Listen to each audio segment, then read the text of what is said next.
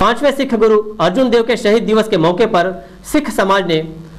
बालको नगर के गुरुद्वारे में शांति पाठ का आयोजन किया। इस अवसर पर गुरुद्वारे में विशाल लंगर भी आयोजित हुआ।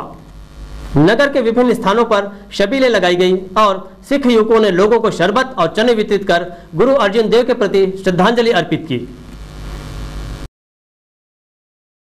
मान्यता है कि समाज में भाईचारे और सौहार्द की भावना को बढ़ावा देने के उद्देश्य से पाँचवें सिख गुरु अर्जुन देव ने सांप्रदायिक ताकतों के सामने झुकना स्वीकार नहीं किया और शहीद हो गए। उनके आदर्शों का अनुसरण करते हुए समाज में भाईचारे का संदेश फैलाने और शहादत को याद करते हुए सिख समाज ने गुरु अर्जुन देव के प्रति श्रद्धांजलि अर्पित की। इसी कड़ी में गुरुद्वारे में लंगर का आयोजन किया गया और नगर के विभिन्न स्थानों पर शबीलें लगाई गई।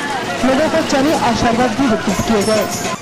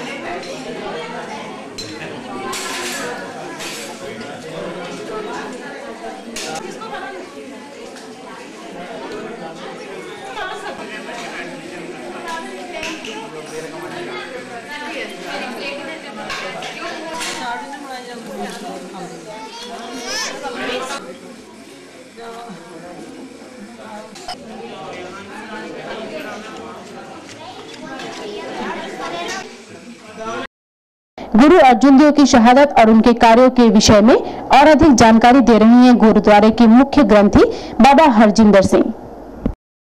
श्री गुरु अर्जन देव महाराज जी के सीधी न्याय के ऊपर में इतनी तपती गर्मी के अंदर में उनको रेत के ऊपर, सिर के ऊपर डाल के, उनके शरीर के ऊपर में डाल के,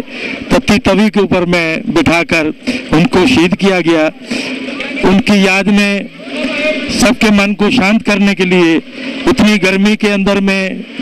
को समूह साथ संगत के, की खातर, हिंदू धर्म की खातर उन्होंने अपने को बलिदान किया।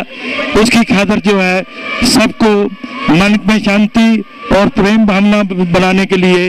प्रसाद, चने का और शरबत का प्रसाद जो है, सबको बांटा जाता है ताकि सब उनके, जो उन्होंने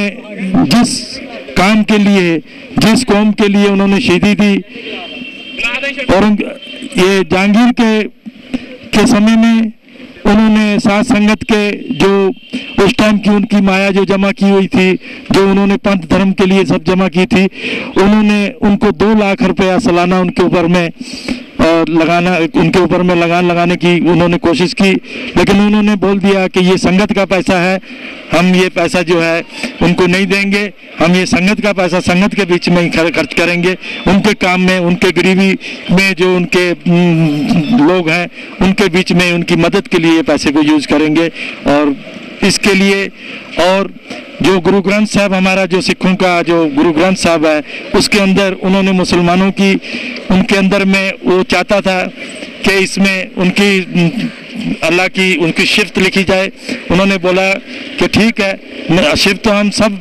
साधु और संतों की जो बानी है, उसके अंदर में सब दर्ज कर रहे हैं। अगर आपकी सही बानी है, उनकी खुद की लिखी हुई, उनकी अपनी खुद की उचारी हुई अगर बानी है तो हमको दे दो, हम उसमें उच्चारण करने के लिए तैयार हैं। बाकी हम, उनकी ऐसे शिफ्त, उनकी ऐसे लिखने में हम लोग नहीं करने के लिए तैयार हैं। इस कारण उससे नाराज़ होके उन्होंने उनको जाके शहीद किया गया। रावी के कंडे के अंदर, ऊपर में उनको बिठा के और उस समय के जो